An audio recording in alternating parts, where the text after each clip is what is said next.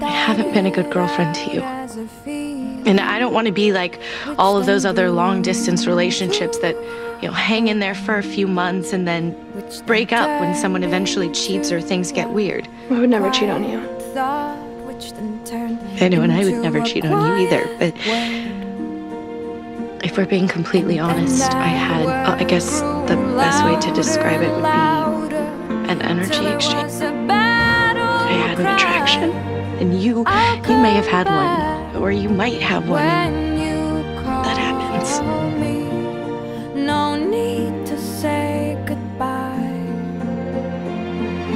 Just because everything's changing doesn't mean it's never been this way before.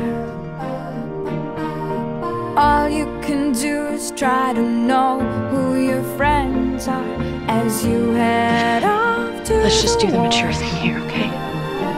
This is not an official breakup. Let's just be honest that long distance relationships are almost impossible to maintain You'll come back because both people are rarely getting what they need. No need to say goodbye. You'll come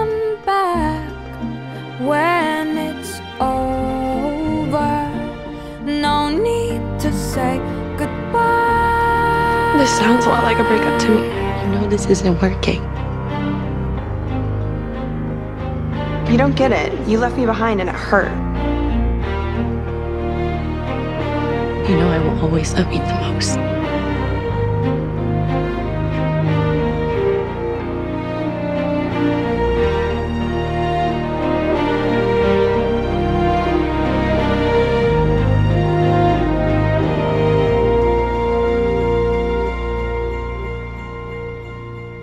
Now we're back to the beginning. I love you. It's just a feeling and no one knows yet.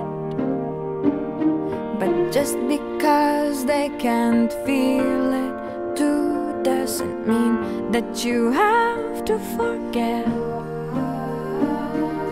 Let your memories grow stronger and stronger till they're before.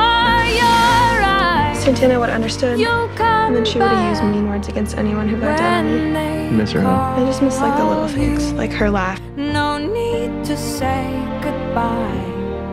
You'll come back when they call you. No need to say goodbye. But She was also my best friend.